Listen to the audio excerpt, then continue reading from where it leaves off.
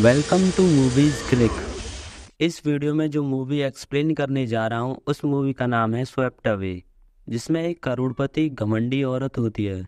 वो एक समुद्र के बीचों बीच आइसलैंड पर फंस जाती है अपने एक नौकर के साथ, और कैसे वो धीरे धीरे उसी नौकर से प्यार करने लग जाती है, और आखिर अंत में वो किस प्रकार वहाँ उस आइसलैंड से निकलते हैं।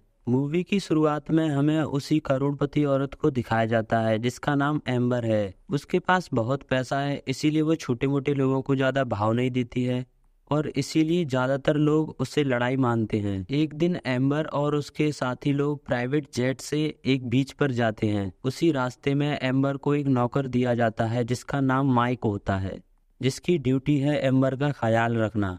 लेकिन एम्बर अपने करोड़पति अंदाज से अपने नौकर माइक को परेशान कर देती है।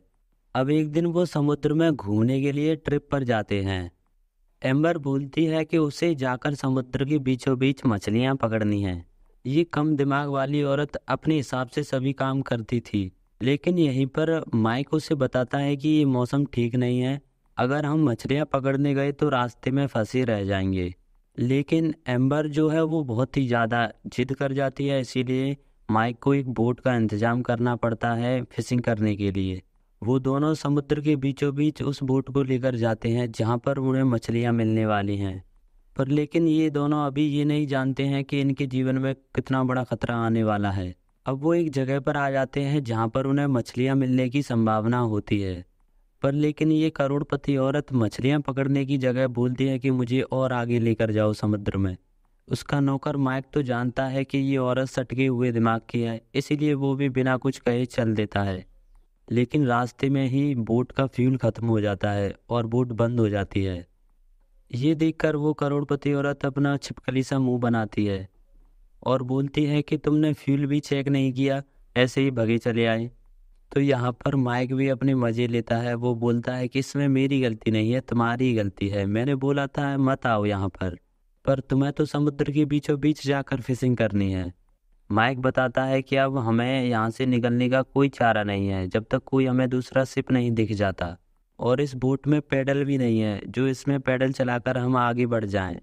वो ऐसा बोलकर उस करोड़पति औरत की टांग खींचता है।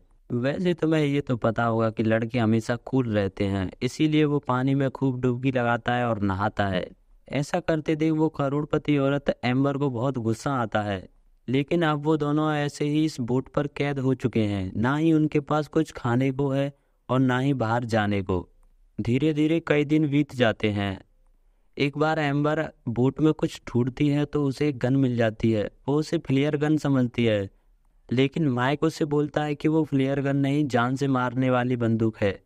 इसी बीच उन दोनों में लड़ाई होने लगती है और गन से गोली चल जाती है और वो बोट को ही लगती है, जिससे धीरे धीरे बोट की हवा भी निकलना शुरू हो जाती है। अब माइक सोचता है कि इस करोड़पति औरत ने समुद्र में तो फंसवा ही दिया, अब ये पूरे मरवाने की प्लानिंग कर रही है। और उसी रात को तूफ़ान आता है। बड़ी मुश्किलों का सामना करके वो एक रात बिता लेते हैं और सुबह देखते हैं उनको एक आइलैंड दिखाई देता है। और अब वो दोनों उस आइलैंड पर जाना चाहते हैं, इसीलिए वो कछुए की तरह हाथ पर चलाने लग जाते हैं, जिससे बोट धीरे धीरे आगे बढ़ती है और आइलैंड पर पहुँच जाती है। लेकिन वो करोड़पति औरत समझते हैं कि अब तो उसकी ज़िंदगी बच गई। पर अभी उसे पता कहाँ है, अभी तो एडवेंचर शुरू हुआ है। वो दोनों अपने अलग अलग रास्ते पर निकल जाते हैं। वो करोड़पति औरत तो सोचती है कि शायद इस आइलैंड पर कोई होगा, इसीलिए वो पूरे आइलैंड पर उसे ढूँढने के लिए घूमती रहती है। लेकिन माइक को पता है यहाँ पर कोई नहीं होगा, इसीलिए वो किसी को ढूँढने की वजह अपने लिए खाना ढूंढता है। खाना तो मिलता नहीं है उसे, लेकिन एक झोंपड़ी मिल जाती है। और उस झोंपड़ी को देखकर वो बहुत खुश होता है। उसके सोने और रहने का जुगाड़ हो चुका है। वो झोंपड़ी शायद उस इंसान ने बनाई होगी जो यहाँ पर पहले कभी फंसा होगा। अब माइक बस सोचता है कि रहने का इंतज़ाम तो हो गया, अब बस खाना ढूंढना है। वैसे लड़के तो होते ही दिमाग वाले हैं। इसीलिए वह लकड़ी से एक पैना हथियार बनाता है, जिससे वो मछलियाँ पकड़ सके।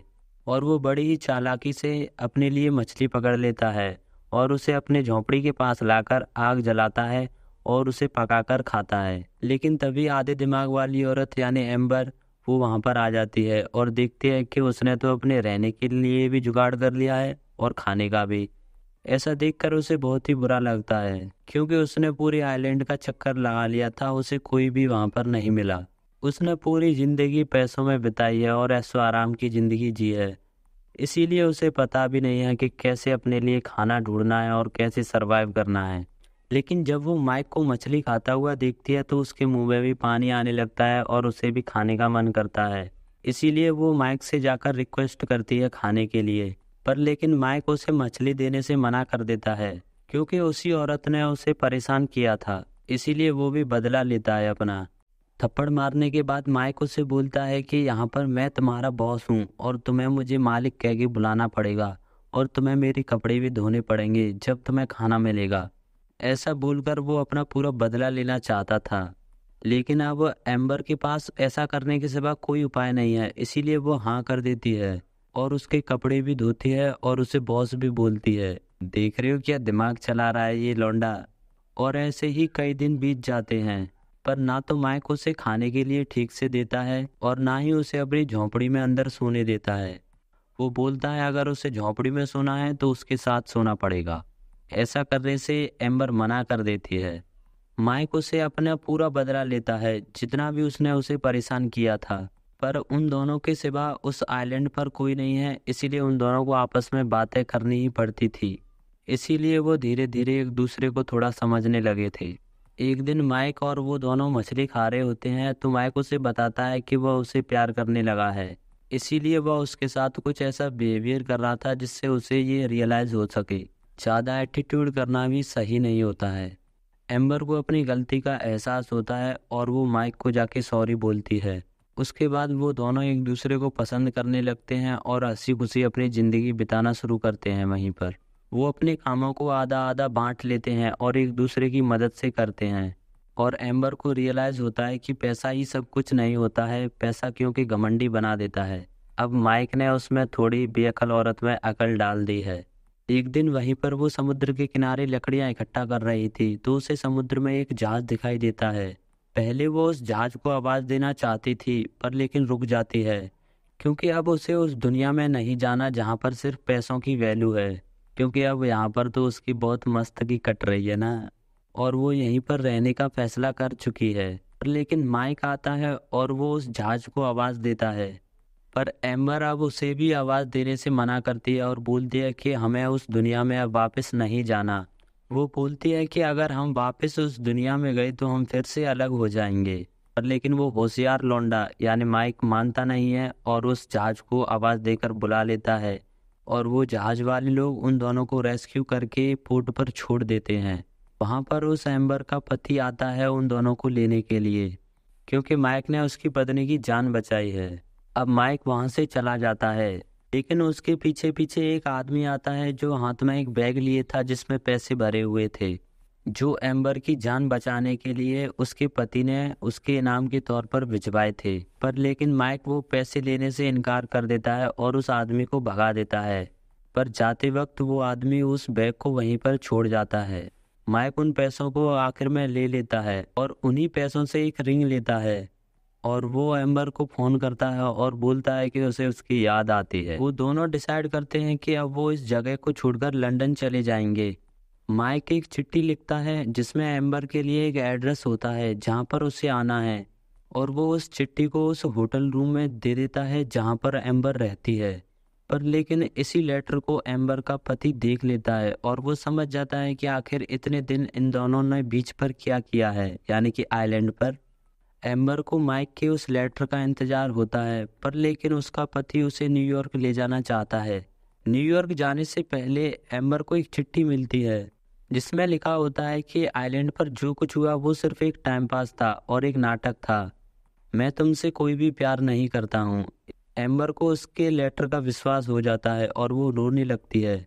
पर दोस्तों, वो लेटर माइक ने नहीं एम्बर के पति ने ही लिखा था उसी के लिए, क्योंकि वो नहीं चाहता कि उसकी पत्नी माइक के साथ जाए।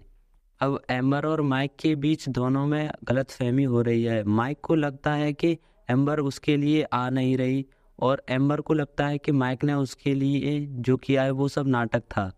और बीच में ये पूरे मज़े ले रहा है एम्बर का पति, क्योंकि वही है जो बीच में लेटर को एक्सचेंज करके बदल देता है। पर लेकिन जब तक माइक को असलियत का पता चलता है, जब तक एम्बर और उसका पति जा चुके होते हैं। और अब उन दोनों के प्यार की कहानी टूट चुकी है। अब वो हेलीकॉप्टर की तरफ़ उसी रिंग को फेंकता है। वो अब अपने आप को क्रिस थ्री समझ रहा है। वो सोचता है कि शायद ये रिंग उसके पास चली जाए। पर दोस्तों ऐसा कुछ नहीं होता। वो रिंग जाके पानी में गिर जाती है और वो कबीर सिंह की तरह रोना शुरू हो जाता है। इसीलिए दोस्तों, टाइम का कुछ भी पता नहीं है कि कब हमारे साथ रहने वाले लोगों को कब वो दुश्मन बना दे, जैसा कि इस मूवी में हुआ है। और यहीं पर मूवी का एंड हो जाता है। दोस्तों, मूवी कैसी लगी ये कमेंट बॉक्स में ज़रूर बताना। और ऐसी एक और मूवी है द चेस उसका लिंक हम आपको डिस्क्रिप्शन और कमेंट बॉक्स में दे देंगे। उसकी भी कहानी ऐसे ही लव के ऊपर है। आपको वो वीडियो भी जाकर ज़रूर देखनी चाहिए। और अभी तक आपने चैनल को सब्सक्राइब नहीं किया है तो सब्सक्राइब कर लें। क्योंकि इसमें आपका ही फ़ायदा है, क्योंकि मैं ऐसे ही धांसू और अमेजिंग वीडियोस डालते रहता हूँ। तो चलिए मिलते हैं अगली वीडियो में। अब तक के लिए thank you so much for watching